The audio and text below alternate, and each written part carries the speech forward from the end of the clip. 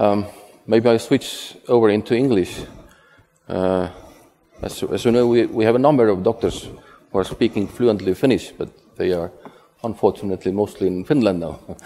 so uh, we, we will continue in, in English, and uh, I'm, I'm, I'm particularly glad that, uh, uh that uh, Lauri is here because Lauri is working for Finnish Medical Association as, as health policy advisor.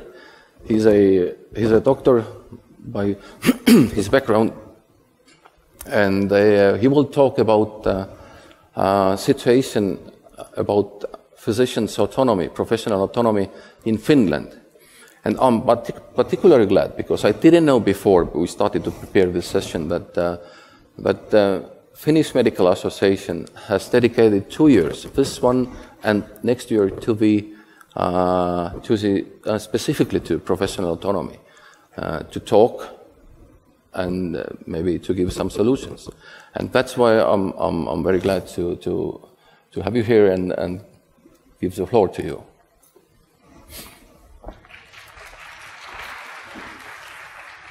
Yeah, thank you, thank you very much for, for inviting me here to speak. It's, it's a very great honor to come here. Uh, actually, I'm, I'm replacing here uh, our head of Finnish Medical Association, Heikki Pälve.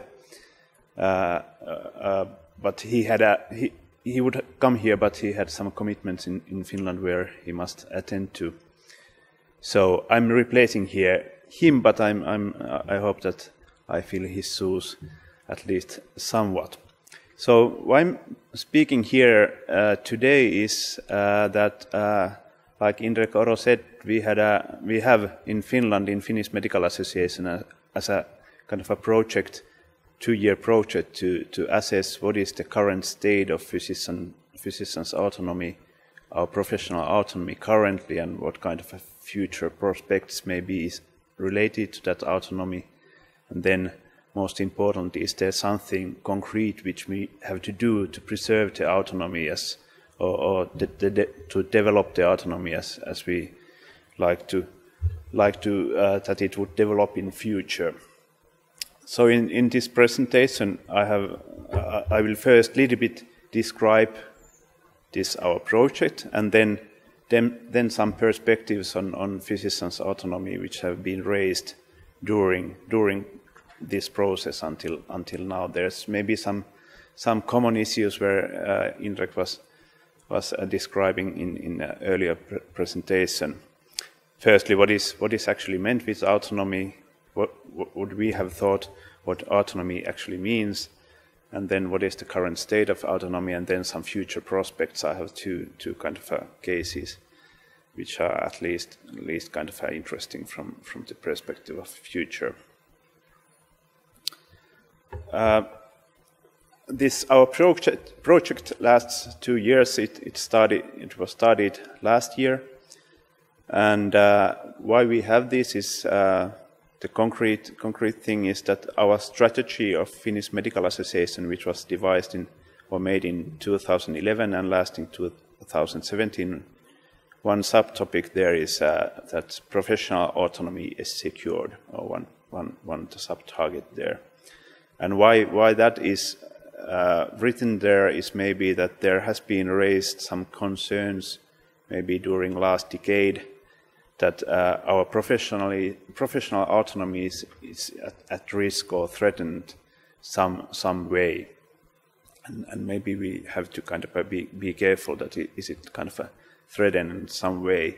And why one, one uh, kind of uh, thing in background there is maybe that healthcare regulation is, is, has increased in the last two, two decades and healthcare system has been more complex and patient pathways has been being more complex and so on.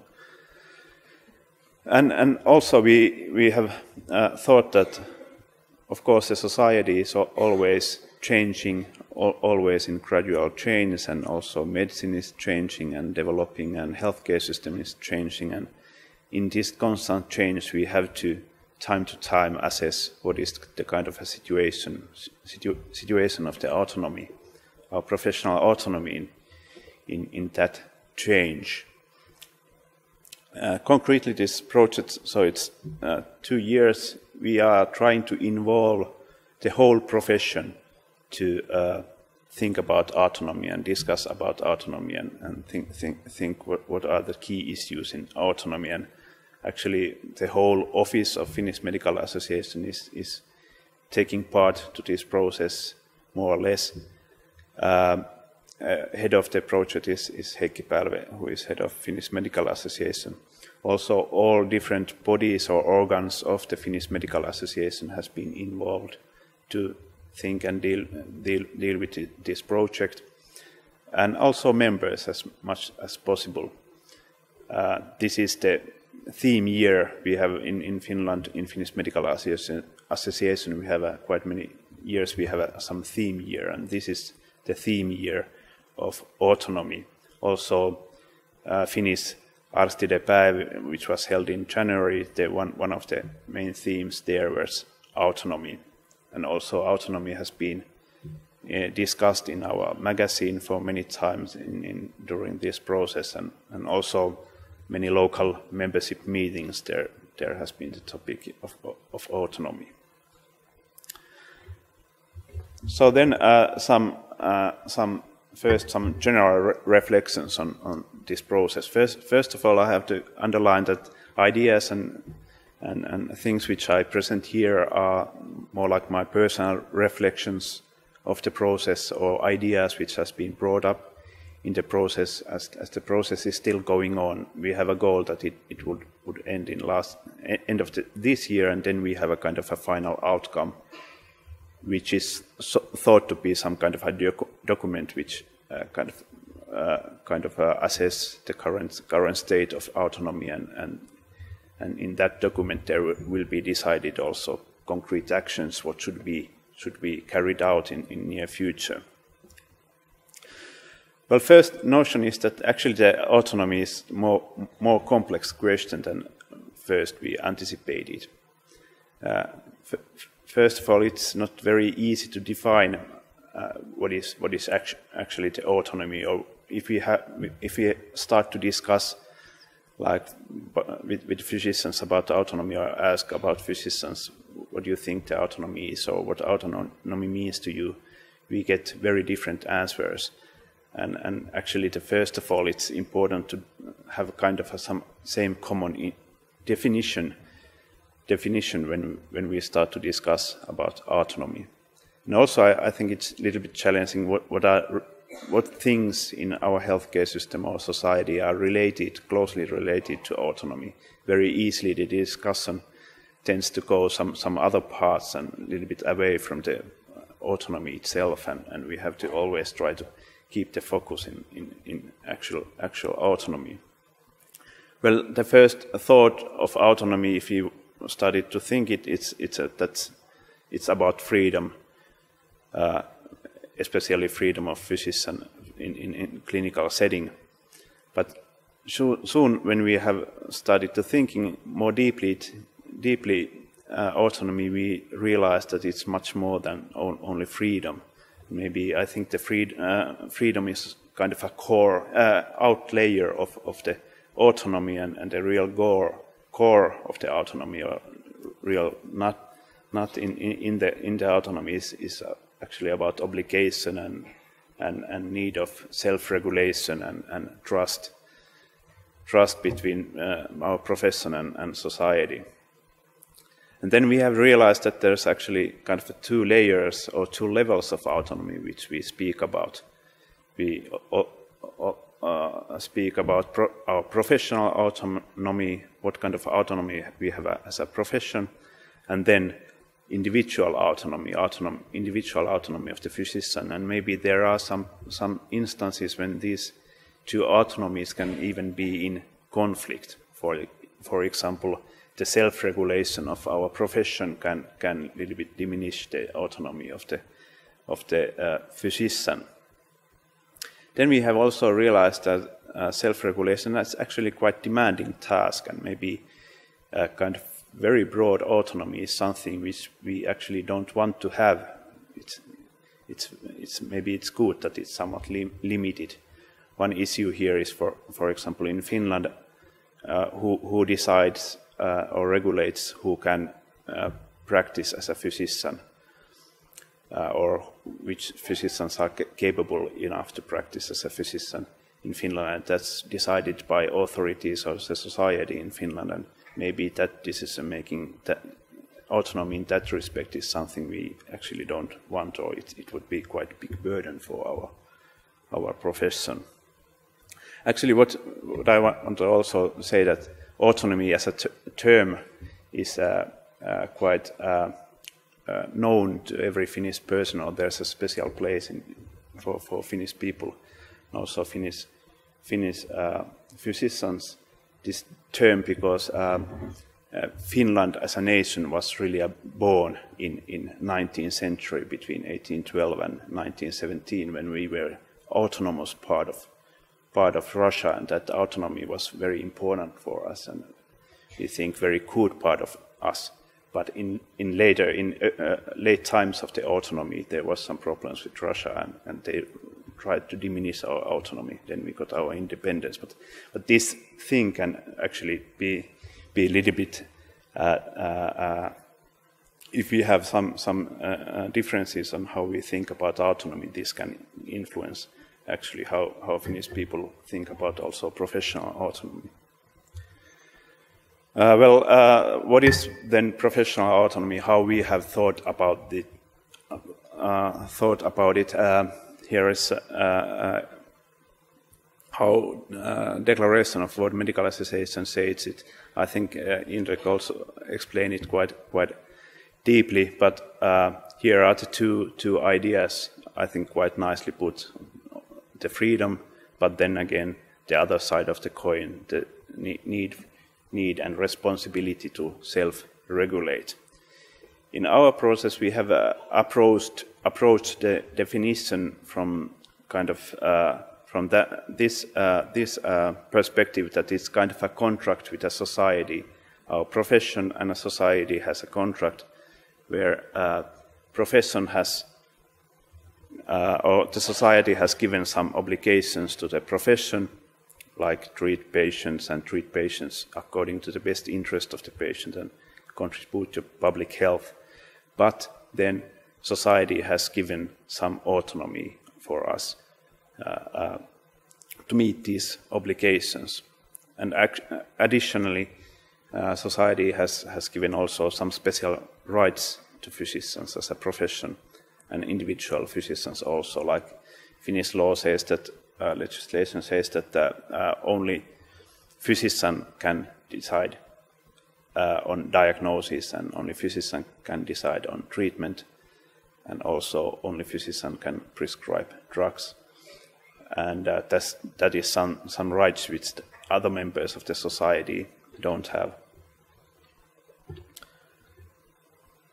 Uh, our uh, Heikki Pälve, the head of, head of our medical association has, has put this, I think, quite nicely in the nutshell that what is autonomy is, autonomy is about the freedom to self-regulate.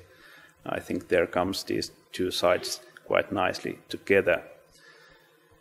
So, uh, like the Declaration of World Medical Association says that uh, our profession has, has to set our own rules when necessary so that uh, our profession meets the expectations what the patients and society is expecting us or the, we meet these obligations.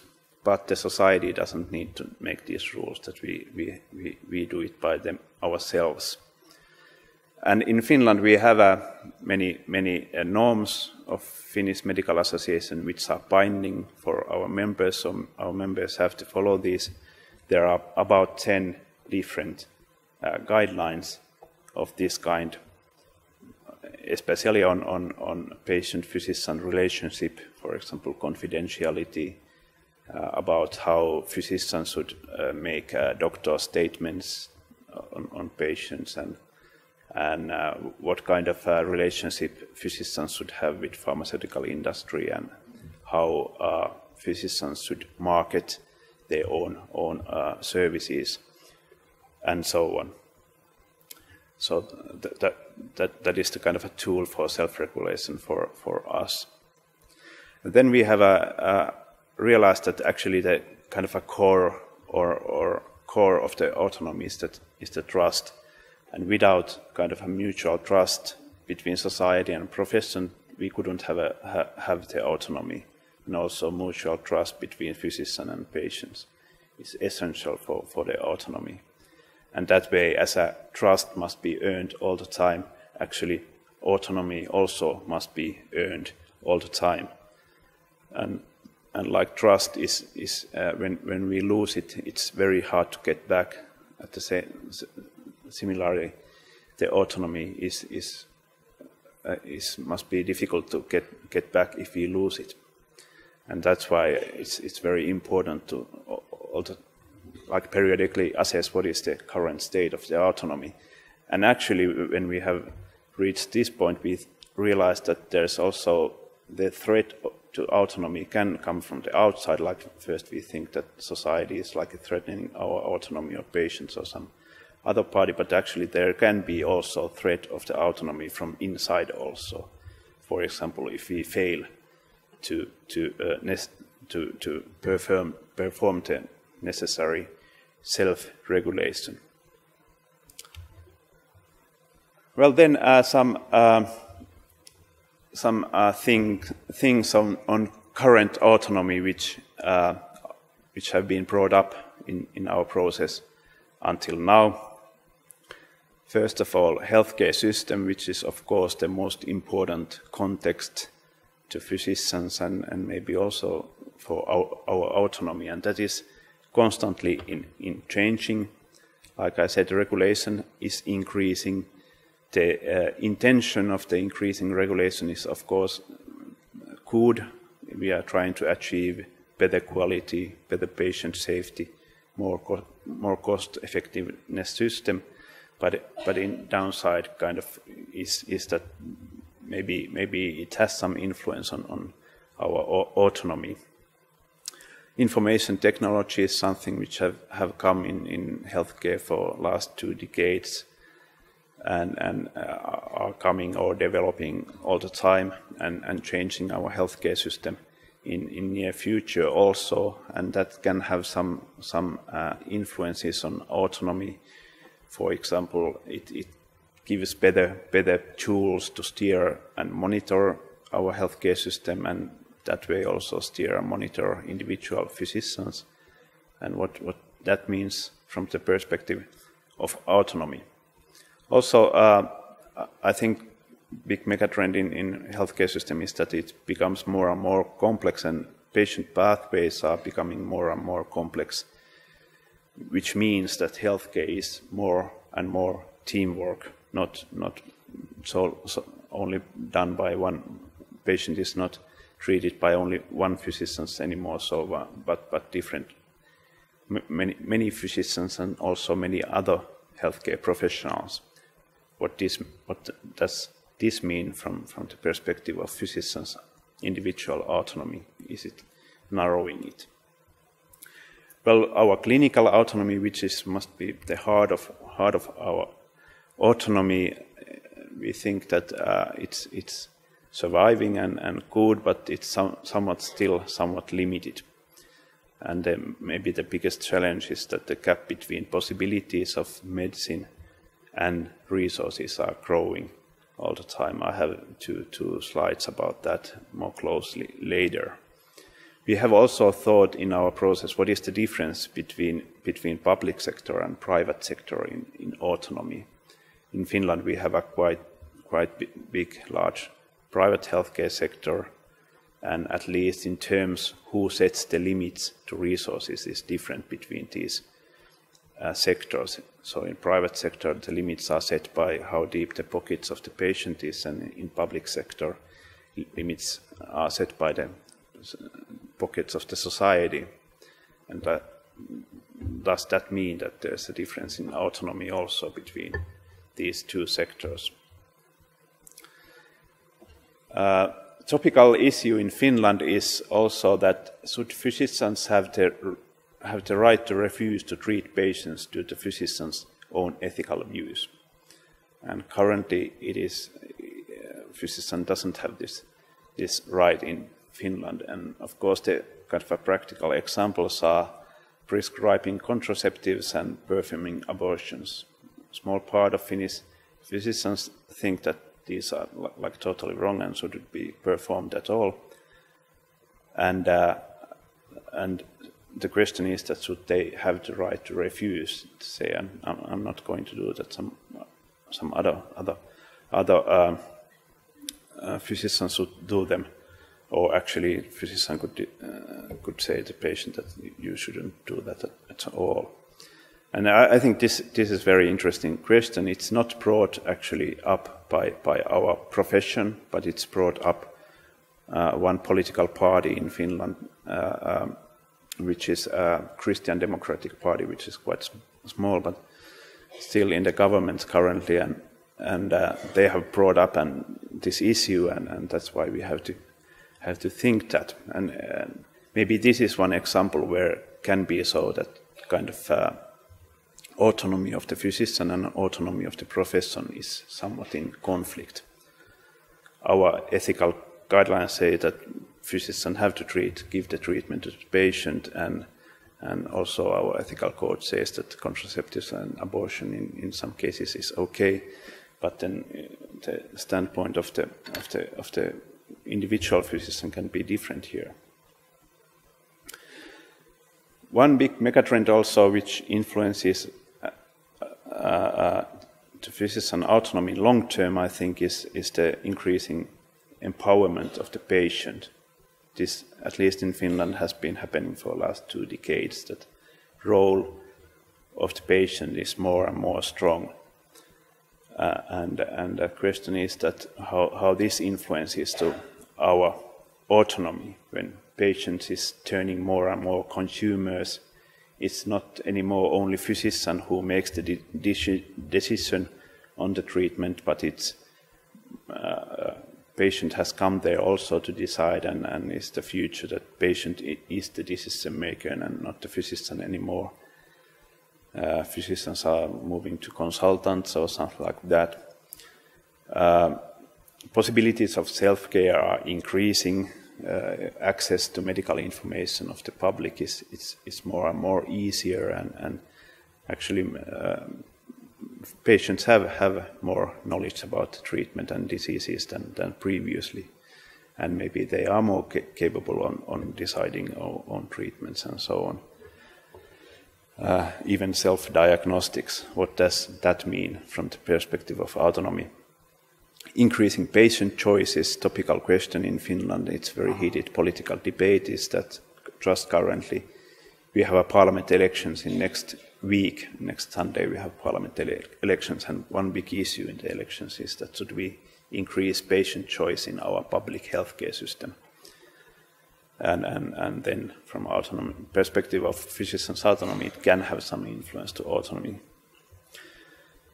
But then we have thought that, well, maybe the first thought is that uh, increasing patient autonomy, you can say that it's kind of autonomy of the patient is increasing it is away from the physician's autonomy, or the autonomy of physician is, is diminishing same time. But you can maybe also think otherwise, other way that this increasing autonomy is a little bit related to uh, society and it's kind of uh, limiting the choices of the society or, or, or uh, uh decision making of the society, but not to the autonomy of the physician? And can it be even so that uh, increasing autonomy of the patient means increasing autonomy of physician? I think this is quite complex question, and, and I don't have, a, have any final idea on, on that.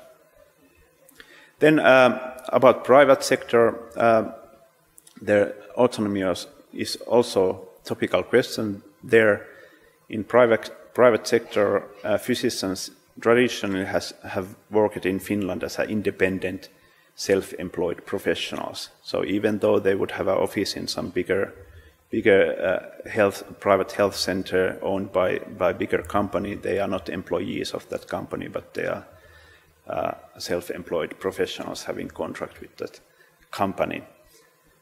And uh, uh, nowadays uh, there is quite many issues actually where, where these companies and also insurance companies, private insurance companies are, are trying to start to regulate the system more and more and, and this is felt that it's, it's going to going to limit the autonomy of the physician. One, one uh, kind of uh, uh, action, topical question there is that should there be age limit of the doctor working, working as a physician? In Finland, the license to work as a physician is a lifelong, so uh, like I have gotten my license 15 years ago, I, I, have the right to, to work as a physician even, even when I'm 100 years old if I, I see that that's, that's the kind of a good thing. But uh, these, uh, now these private companies who runs these health, health centers are, are thinking that there should be some age limits. And I think one of these big companies have even set now the age limit of 70 years and saying that we, we are not taking, taking here uh, doctors which are more older than 70 years old. And this have kind of raised the discussion that is this okay, limiting kind of limiting autonomy of the individual physician that that way, and if it's so, who should set these age limits, or who should set the age limit? Is, is it these private companies, or should they be set by by our profession, by self-regulation, which could be kind of an autonomy, uh, a path of the autonomy, or should they be set by by the society? Then uh, about physician training, uh, I think the physician training, both basic studies and specialist training in, in Finland has been quite in quite strong hand, hands of our profession. Maybe not in strong hands of the Finnish Medical Association, but in strong hands of medical faculties, which of course are, are run by physicians. Uh, perhaps only thing which is not in the power of, of our, our profession is, is the intake to medical school, which is actually a thing which Finnish Medical Association would like to have influ in, influenced, influence or decide uh, at least earlier. But the contents of the training has been very strong hands of the, our profession. But now the new thing is that we changed the le legislation so that there would be will be will be new committee, permanent national committee, which steer the specialist training. It will steer the contents of the training and also intake and where, where the uh, uh, specialist places are, are, set up in ge geographically, what universities, what, what hospitals, and so on. And that has influence, uh, must, must have some influence to our professional autonomy is it, is it which kind of influence that we'll see? I think the important question is that do we as a profession take a strong, strong role in this new committee or which kind of role we will have in, in this, this new committee as a, as a profession. Continuous medical education is also a very topical issue in Finland. Uh, like I said, uh, license to practice as a physician is a lifelong in Finland, and there is uh, no no assessment of continuous medical education in, in Finland. So uh, uh, not the society and not so much even our profession is not regulating what is adequate continuous medical education. How what, what is the adequate adequate kind of uh, training which physicians should should make annually to, to keep up the skills and, and knowledge. And uh, this is now residing in, in individual physician. Every individual physician uh, are themselves responsible that, that adequate training is, is, is done. But as maybe you know, there is, uh, this is not the case in many, I don't know how it's in Estonia, but in many, many other European Union countries, this is not so that that the permit is lifelong, not depending what what you do. And uh, uh, it's called recertification, meaning that you have to prove every, for example, five years that you have attended enough to continuous medical education.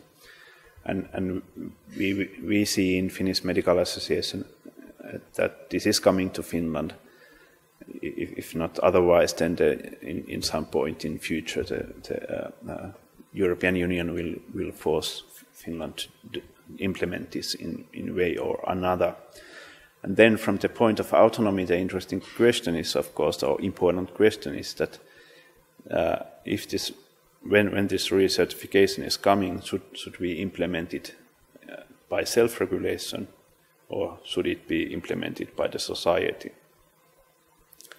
And at least first steps which ha we have made on this are like towards the path to autonomy. We have a set up a, a kind of a, a, web system for, for, for physicians to, to where physician can can record all the continuous medical education where he or she has attended and, a little bit assess uh, is it is it kind of a adequate training. It's quite rough the system, but but this is the kind of a first step.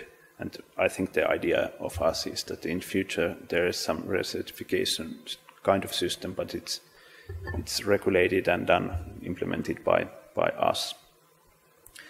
Then our ethical code, which is uh, at least I think very strongly also rela related to, to autonomy in that way that of course the profession must have a have a autonomy to define its own ethical code. And secondly, profession must have, have a, uh, enough autonomy to act according to that code. And in this respect, we in Finland we have two problems. First is that the current law says that the physician must inform police if the patient uh, which physician is, is treating is not capable of carry a gun uh, due to medical reason. And this obligation is, does, doesn't really relate to the fact that has the patient a gun or has the, even the patient have a, have a license to carry a gun. Every patient you have to inform if you, if you assess that it's not, not capable of carrying a gun. And this is, of course, against uh, confidentiality of the physician-patient relationship. And actually, our physicians are not, not following this law very, very good.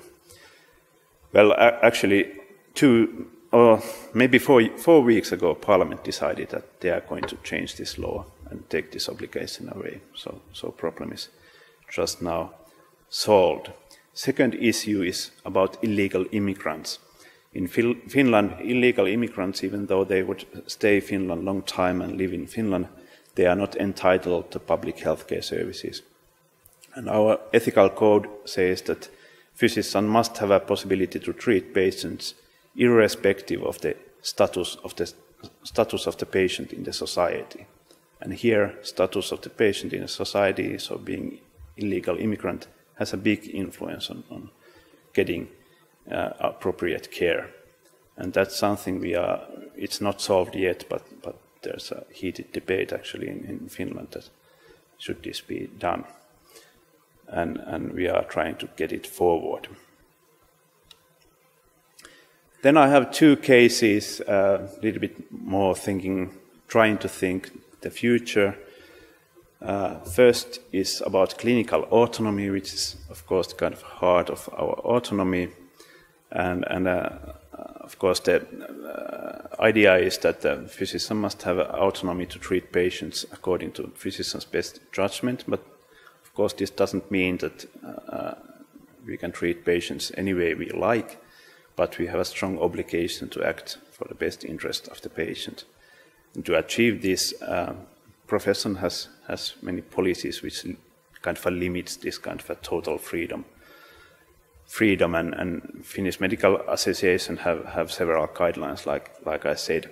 Second thing, which is kind of a self-regulation in Finland is, is that we have a second national association of doctors in Finland called uh, Medical Associ Association Duodecim, and uh, about 85% of Finnish medical doctors belong to that organization also.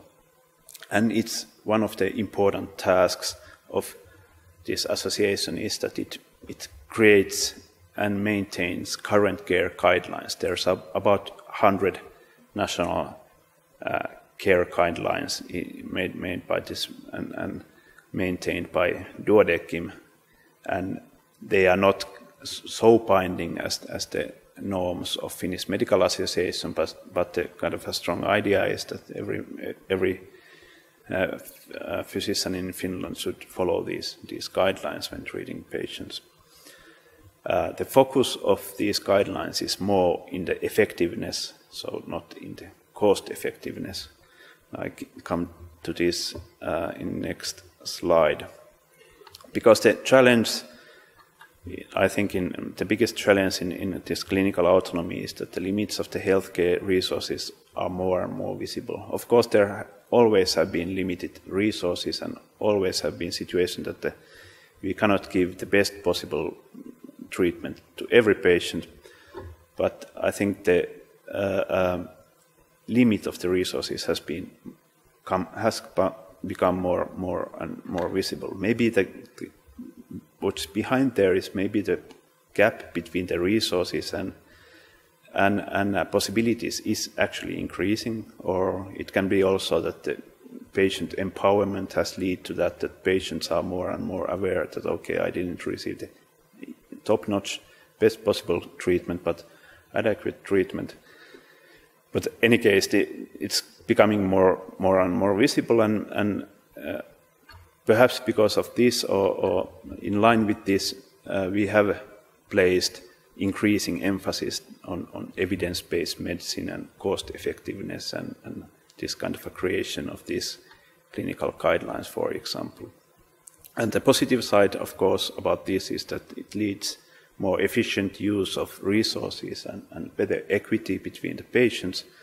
But, but is it decreasing our autonomy, uh, especially taking like, like individual autonomy of the physician?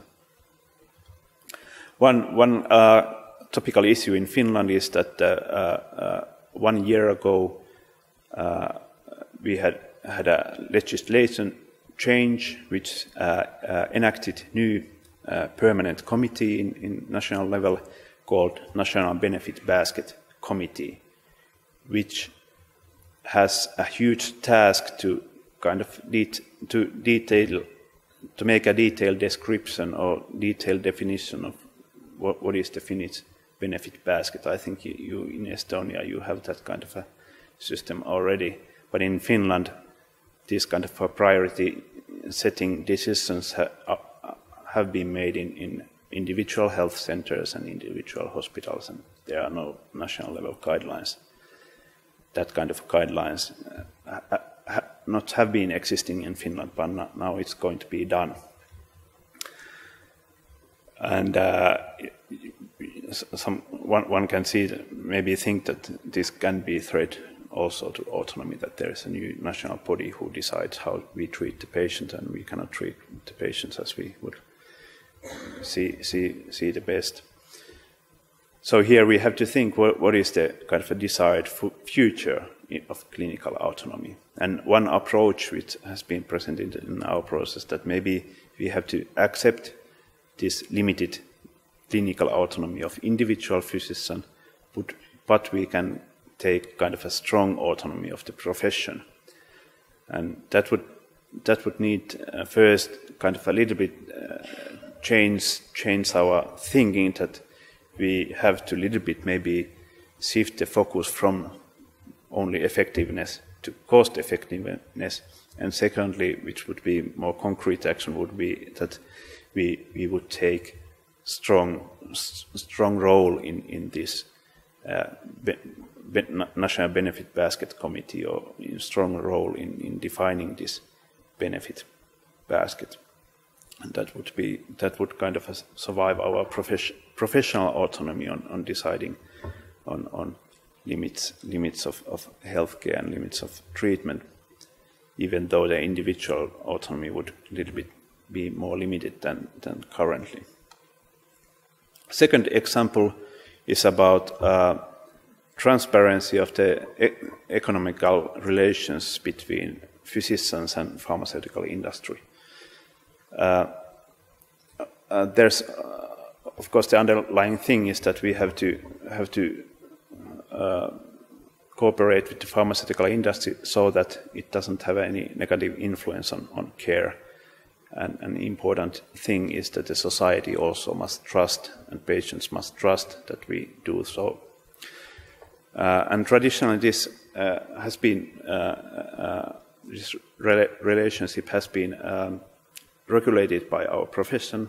We have an ethical code or, or code which which says how how physicians should cooperate with the pharmaceutical industry, but there hasn't been any any transparency on on kind of economical ties, ties between between physician and pharmaceutical industry. Our profession hasn't monitored them, but society hasn't either monitored them. But now, at least in Finland, we have a new trend in society, in, in many sectors of the society, that there should be more transparency on, on economical things and especially economical ties. Uh, I think the leading, leading, leading sector here is, uh, is politics in, in Finland last 10 years there have been passed many laws which make, make uh, ties of politicians, economical ties of politicians more transparent and they have to report these ties and so on. And, and many, many kind of uh, different uh, reg regulations on that. And now this, this thinking has come also to healthcare sector and, and society is, is saying that there should be, should be transparency also here. And so we have this challenge in, to increase transparency, then we have to think what should be, again, to be the desired future. Should this transparency be implemented by our profession ourselves, kind of self regulation, which would be kind of a sign of the strong autonomy, or should, it, should we left this uh, uh, implementation to the society. And our first approach is that we are going to implement this by, by uh, self-regulation. Uh, we have, uh, a year ago, we changed our, our uh, this code about physicians and, and and pharmaceutical industry's relationship so that physicians must, must reveal all the economical ties uh, when all the economical ties to pharmaceutical companies and the pharmaceutical companies are starting to report annually in, in individual level how many how much euros every doctor has has gotten from, from those companies even either in money or in, in as education or, or so on and our economic, our guide, guideline for our members says that you should not deny. There's a possibility to physicians to deny this, this reporting, but our, our guideline says that you shouldn't do that. It's against the best interest of our profession. But the challenge is here that, that this kind of transparency is not easily accepted by all physicians. There's some physicians not thinking that this is not very very good thing. And maybe at least if we think about short term, uh, in short term, the easiest thing for the profession would, would, would be that we actually would leave this to the society and society would put this kind of a regulations if, if, if, if, if it really sees that it's so important. But at least I think it, this is actually very good, not as a, as, as a problem, but also there's a positive side that this is a very good situation or very good point for our profession to show the society that we are really capable of good autonomy and, and be a responsible responsible to the society and we are like willingly willingly taking all the new new thinking of the society by ourselves that society don't have to force us to do that. In any case uh, this relationship is, is uh, or if we if we some, somehow fail to implement this transparency either by the regulated by the society or us, we, we are there's a threat, real threat that we lose the trust to the society and patients, which, which is of course the cornerstone of, of autonomy. Then I have a last slide, a few conclude, conclusions about about autonomy. Um, Firstly, it's clear that autonomy is something which is very fundamental to our profession and also very fundamental of being physician. And uh, actually, it is relate, related more, more or less anything we do or every relationship with other other actors in the society and, and in healthcare system and so it's so it's very, very important thing to thing, thing to discuss and discuss about autonomy it leads to very interest, interesting interesting th things uh, secondly uh, autonomy is I, I, think and we have found that it's really essential it's without without clinical autonomy physicians couldn't act for the best interest of the patient. So, so autonomy is something we, we don't, don't there's, we shouldn't, shouldn't lo lose in any, any circumstance. Uh, so far, our project has raised very interesting discussion, like said, and, and, and uh, new thinking on, on what is our relationship to society and what, what is our re relationship and role in, in healthcare system and also what is our role in the society, what is the, our profession's role actually in the society, and what is our relationship to patients and how it's going to change. And last point is that a, a, a gradual change in autonomy is inevitable. It's something which is not not like a in, in constant situation, but it's changing because the society is changing, because healthcare system is changing, patients are changing, then the question is that is this change positive or negative, or what is the uh, desired future where we would like to uh, develop this physician autonomy? And I think quite much depends actually on us how we adjust to these changes in society and and, and medical science and, and patients. Okay, thank you. These are some, some ideas which has been brought up in, in our process. And, and after this year, maybe we are even more, more wise about this when we have uh, ended this, our project. Thank you.